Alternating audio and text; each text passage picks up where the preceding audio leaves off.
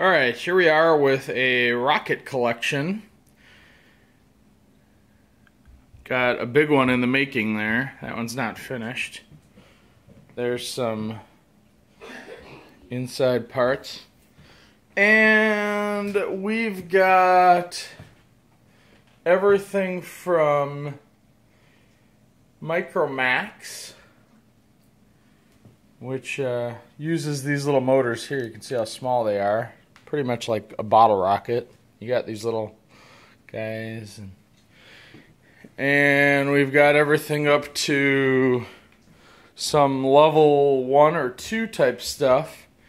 And this project here would certainly be a level 2. Will it fly? I don't know. It's 54 millimeter diameter motor. But uh, lots of fun stuff here. We got the Micro Maxx. We got a surplus of parachutes, including nice ripstop parachutes.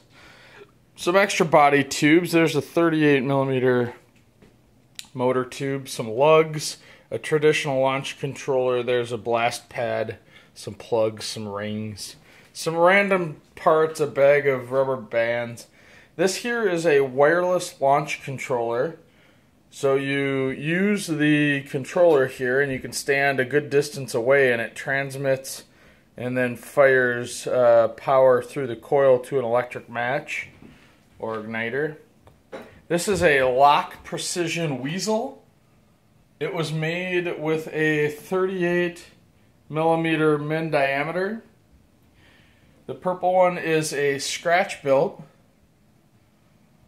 balsa nose, pretty lightweight, made with a 24 millimeter that one has not flown. We don't know about its stability. The blue one here is a LOC Precision Forte, 38 millimeter, really nice rocket for doing a level one certification. That's a pretty decent rocket.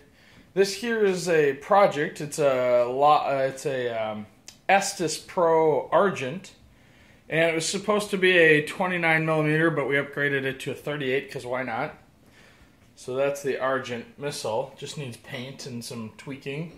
The pink one over in the corner is an Estes Leviathan.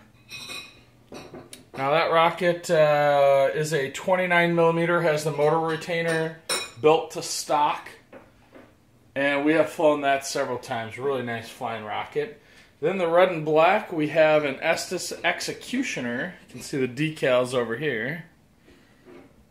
That rocket we've flown several times. The Executioner we upgraded from a 24 millimeter to a 29 millimeter. We have flown that on some pretty decent 29s, and that sucker goes.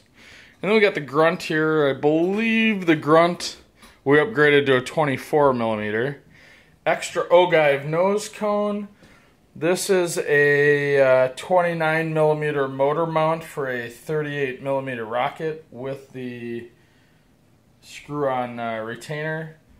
That right there is a adapter, so you can run 24 millimeter motors into a 29 millimeter rocket. Here's another adapter that allows you to run 29 millimeter motors in a 38 millimeter rocket mount. Down in the far corner there, we have the Semroc Moonglow. That's kind of a sporty little 50s looking space age thing. That rocket actually is my favorite of all of these. I took a lot of time to build it very carefully, and it has glow in the dark paint, which uh, is kind of cool. It had some more decals that fell off, but I kind of like it just because it glows and it's got that old school space age look. So that's pretty much all the standard parts. This thing over here is uh, just kind of a dream Will it fly? Can it fly? Don't know. Uh, we got uh, 8 inch concrete form tubes from Menards. One is painted, one is not. And the plan was to build something that maybe could fly and not plan to launch it and just keep it as a static display.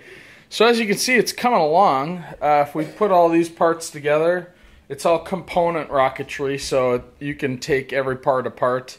It's all screwed together in the end, and if you need to replace something, you just take it apart. The whole motor tube here and uh, housing and fins is designed to slide right out the back. Um, so that's why the tabs for the fins are like that. Uh, just needs a uh, someone needs to form a nose for it. Maybe maybe fiberglass or foam. Usually, cutting foam and shaping it and fiberglassing it is the best way to make a cone for a big rocket. But if nothing else, if someone finishes it, uh, it's sure a neat piece to have sitting in your basement or your or your um, garage. So that's it. That's uh, our household rocket collection.